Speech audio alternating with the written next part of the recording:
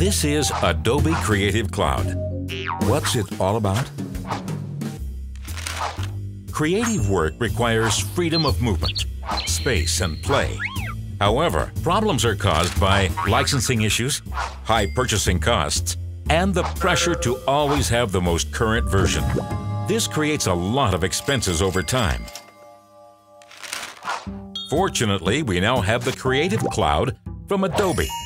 This includes the complete Creative Suite product portfolio, such as Photoshop, InDesign, or Illustrator, and many more tools and services. In other words, the entire range of Adobe products is available under one roof for download.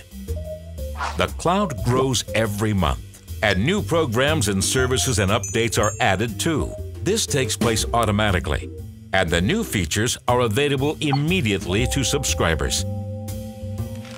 Simply install the products onto the desktop. And what about the costs? The small monthly payments for the subscription can be booked as operating expenses. This applies to individual products too, of course. And the big initial costs are a thing from the past. Individual users can get Creative Cloud for $30 a month. It also costs around $30 for students and teachers. And business owners, such as Max, can purchase Creative Cloud for Teams for less than $50 a month. This way, they can remain flexible and have the most current versions at their fingertips, meaning that they are always up to date. There are no more limits for creativity. A dream.